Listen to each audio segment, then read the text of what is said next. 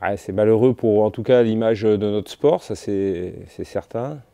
Après, moi, j'ai pas d'informations euh, suffisantes pour avoir un avis euh, objectif.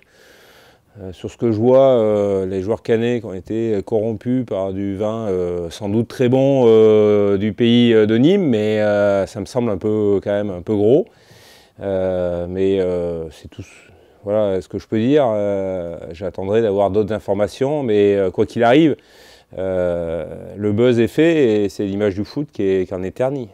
Forcément, dès qu'il y a de l'argent, euh, des hommes, euh, ça peut euh, engendrer ce genre de, comportement. Après, dans le monde professionnel, ça fait des années que j'y suis et moi, je n'ai jamais trop été sujet à, ce genre de, comportement. Forcément, ça remonte à, l'histoire de, VA avec, avec Marseille, mais depuis, je n'avais pas eu d'informations mais ça peut euh, forcément euh, arriver. Hein. Il ne faut pas non plus leurrer et croire qu'on est à l'abri de, ce genre de, comportement. Pour avoir des sanctions, il faut qu'il y ait des faits avérés. Pour le moment, ce n'est pas le cas. Euh, il y a une enquête qui est en cours et on va laisser, comme disent très bien les hommes politiques, la justice faire son travail.